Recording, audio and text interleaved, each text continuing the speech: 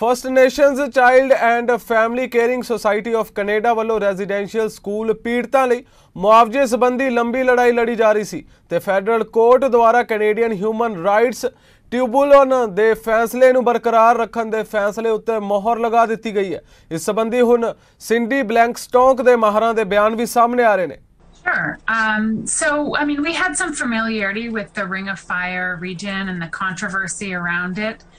And in particular, what we were seeing and looking at mainly the environmental assessment processes and how they were playing out there was that there was quite a lot of um, both Indigenous opposition, but also a lot of movement in the situation.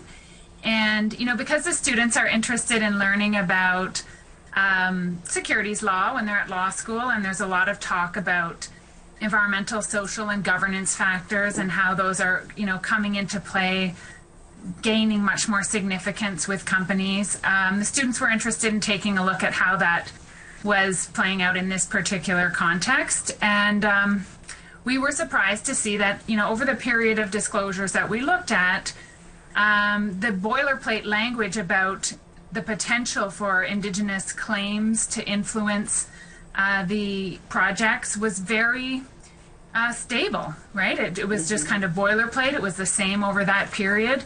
And what we were seeing on the ground was actually that things were pretty volatile and um, things were shifting, and uh, First Nations were making very specific claims about their opposition uh, to the projects, and none of that was mentioned in the disclosures.